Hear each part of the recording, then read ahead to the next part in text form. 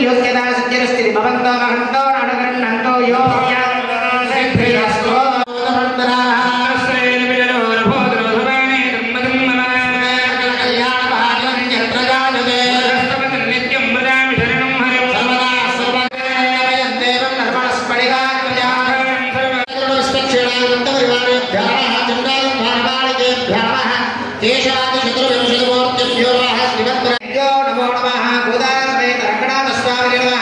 नमस्कार कुरिया। सर्वेश्वर नमः नागसिंहाय नमः